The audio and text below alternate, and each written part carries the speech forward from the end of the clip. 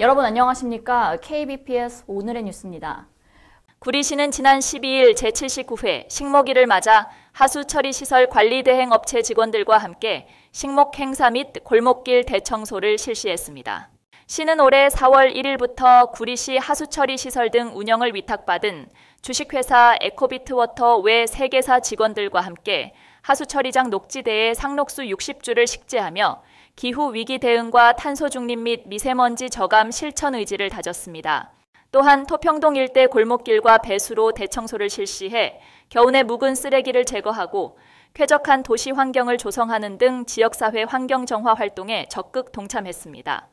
주식회사 에코비트워터 김대선 소장은 구리시 공무원과 공동협력사 직원들이 함께하여 소통과 화합의 시간이 되었으며 앞으로도 하수처리 시 수질 개선과 지역사회 발전에 적극 참여할 계획이라고 전했습니다.